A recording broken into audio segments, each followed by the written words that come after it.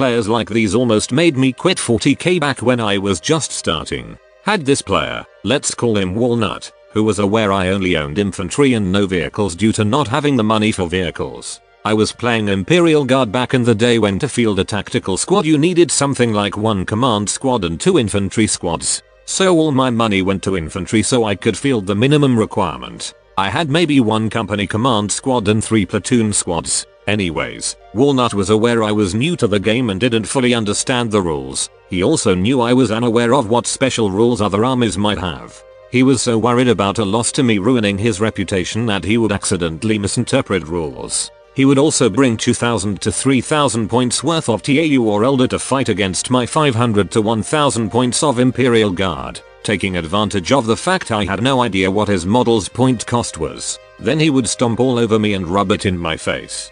I stopped going to the game store for a while and used the time to get some people I trusted to help me out with my army and learning the rules. If not for my pals from the store, I would have left 40k then and there and just stuck to MTG. Fast forward a year or two, we're entering 6th edition. I decide to join the store's first tournament with the new edition. The tournament was at around 2000 points and by then I had a Baneblade and some Leman Russes. I spent the two days before reading over the codex and memorizing all the rules. I even looked through the TAU and Eldar Codexy to make sure I knew what they could do in case I go against Walnut, having bought those two Codexy with that specific purpose in mind. I get him as my first opponent. He begins talking shit and almost immediately tries to cheat. Luckily, I did my research the days before. Every time he tried to pull something on me, I would correct him. I even showed him entries in the Eldar Codex that proved him wrong. I won the game and the dude completely flipped out. He grabbed my Baneblade and slammed it into the ground, shattering it into a bunch of pieces. He goes to flip the table, hoping to smash the rest of my models, but the owner grabs him and demands him to be thrown out. Walnut threatens to have the store closed down, because at this point his father had become the mayor of the town so he was using the man to get his way. Store owner doesn't listen and calls the cops. The next day it's all over the local news. Mayor's son thrown out of local store after causing a disturbance and attempting to cause property damage. A week later and Walnut is being shipped off to a military academy. I ran into Walnut again just two months ago. He apologized for what he did and handed me a new Baneblade kit. Despite me no longer playing Imperial Guard I now run Dark Eldar Kabalites. We talked and hung out for a bit. He really turned himself around. Hard to believe it is the same person. We play every Thursday now and he's quickly becoming one of the most polite and respectful players at the local store. It's hard to believe it's the same Walnut from back when I just started out.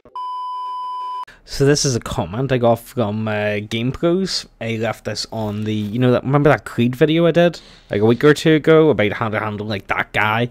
Jesus fuck, honestly, what what's wrong with people? Why can they not just be fucking civilized human beings? Like I've never came across a table flipper like you know but i definitely have came across some people that are just fucking disabled when it comes to actually just fucking neckbeards that don't know how to like act in front of human beings you know what i mean it's it, it's really annoying sometimes with free kicks they seem to attract them but look what can you do you know what i mean uh, but no, look, uh, also the guy that left this comment, Game Pros, check him out. He's got a YouTube channel. Like, you know, it's something to check out. Like, you know, because I, I know this video is very small, but expect two videos today. So, like, you know, I just kind of wanted to do something to kind of, like, you know, I like to, I like to, like, you know, just highlight, like, small channels from time to time. Like, you know, like I did with your furry the other week as well, you know, and I, I like a nice story. If someone leaves me a good comment, I like to do the same back, you know what I mean?